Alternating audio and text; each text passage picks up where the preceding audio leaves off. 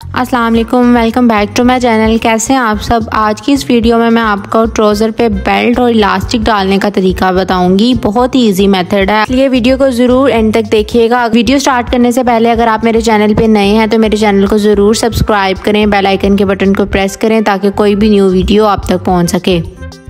Belt लगाने के लिए यहाँ पे मैंने पेंट पजामा लिया। आपको पता ही है कि पेंट पजामे की बैक साइड फ्रंट साइड की नस्बत बड़ी होती है। जैसे दो इंच बैक साइड इसकी बड़ी है और फ्रंट साइड इसकी छोटी है। हमने फ्रंट साइड और बैक साइड पे दो इंच का निशान लगा लेना है। ट्रोजर को प्रेस कर लेंगे और इस तरह से करीज बना लेंगे ताकि हमें ट्रोजर की साइडों का पता चल जाए। और इस पे एक रफ सी सिलाई लगा लेंगे।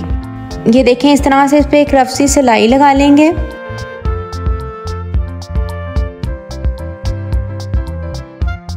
सिलाई लगाने के बाद हमें पेपर बुकरम चाहिए, जिसकी वेट थ्री इंचज़ है और लेंथ टेन इंचज़ है। यहाँ पे मैं स्मॉल साइज़ ट्रोज़र तैयार कर रही हूँ, जिसका मैं बेल्ट दस इंच तैयार करूँगी। अगर आपने मीडियम ट्रोज़र पे भी बेल्ट लगाना है तो आपको टेन इंच का ही बेल्ट लगाना है। लेकिन अगर आप लार्ज ट्रोज़र तैयार करेंगे तो आप उस पर इलेवन इंच का बेल्ट लगा सकते हैं, इससे ज़्यादा का बेल्ट नहीं लगाएँगे।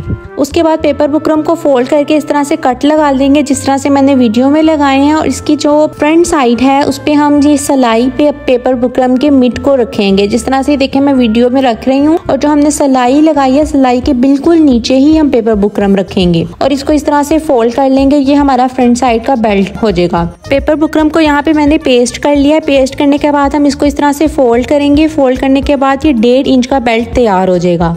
ये फ्रंट साइड पे तो हमने इसका इस तरह से बेल्ट लगा दिया है। बेल्ट लगाने के बाद हम बैक साइड पे हम इसका इलास्टिक लेंगे।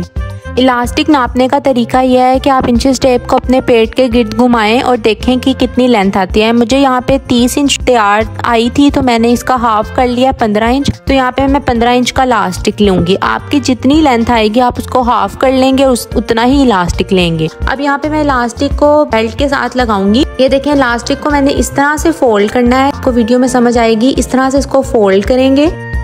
और यहाँ पे एक सलाई लगा देंगे। ये देखें, यहाँ पे हम इस तरह से सलाई लगाएँगे। यहाँ पे हमने एक दो सलाइयाँ लगानी है ताकि हमारा इलास्ट जो है वो पक्का हो जाए। इलास्टिक को पक्का करने के लिए यहाँ पे हम एक दो सलाइयाँ लगाएँगे और बेल्ट पे सीधी सलाई लगा देंगे। ये देखें, जिस तरह से मैं वीडियो में सलाई लगा रही हूँ, इस तरह से हम सलाई लगा देंगे।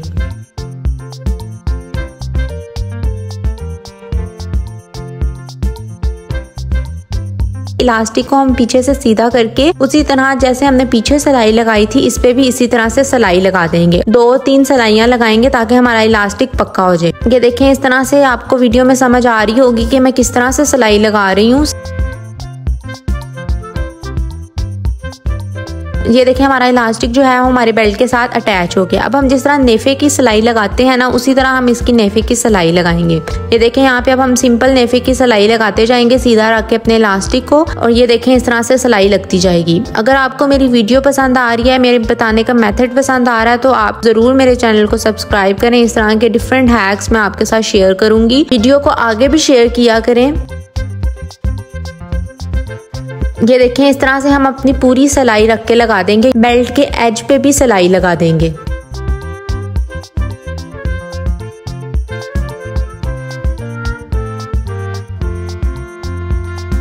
ये देखें, सिलाई लगाने के बाद अब हमने क्या करना है? हमने अपने इलास्टिक को सेट करना है। बैक साइड की सिलाई को फ्रंट साइड की साइड के साथ मिलाना है और जो हमने करीज बनाई थी, उसको भी हमने अपनी फ्रंट साइड पे लेके आना है, जो कि हमारी साइड की सिलाई थी।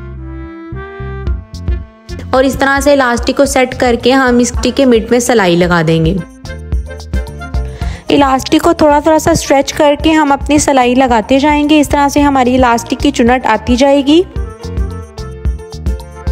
ये देखें हमने यहाँ पे सिलाई लगा ली है। सिलाई लगाने के बाद ये देखें हमारा बेल्ट अटैच हो गया है। ये है मेरी वीडियो की फाइनल लुक अगर आपको मेरी वीडियो पसंद आई तो वीडियो को ज़रूर लाइक करें। चैनल को सब्सक्राइब करें। मिलते हैं अगली वीडियो में। तब तक के लिए अल्लाह हाफिज़।